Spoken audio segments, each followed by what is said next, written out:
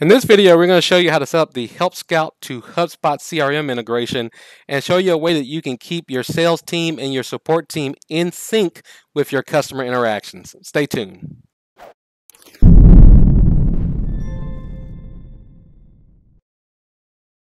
Hey, this is David with Tech Smart Boss. I'm going to integrate two of my favorite apps, Help Scout, which is our support system, with HubSpot CRM, which is our CRM. So I'm logged into Help Scout and I've gone to manage an app. So I'm on their integration page. I'm going to scroll down, you'll see HubSpot. Now this is only available if you are a plus member of Help Scout. So this is not going to be available if you're on their lowest tier. This is one of their medium tier and higher offerings. But let's go ahead and click on that because I actually am in that tier.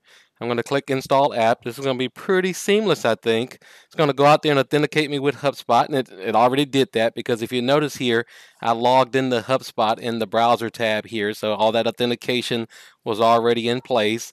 And you'll see here that I can sync profiles, I can assign it to specific mailboxes, and I can control not only what activity to display to my support team. If I want to display deals, I can. If I don't, I can turn that off.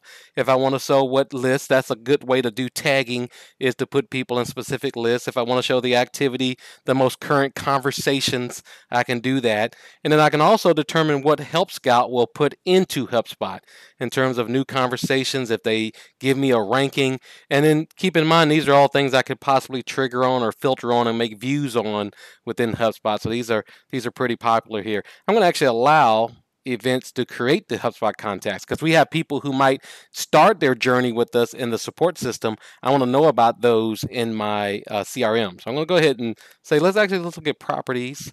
Oh, wow. So these are more properties that you can turn on by default. So let's actually take a look at contact properties. I've got a couple of custom ones that I probably want to add here such as, uh, let's see if we can find, let's see what I call those. Um, Yerby activated and Yerby activation date are two pretty important things for our customers.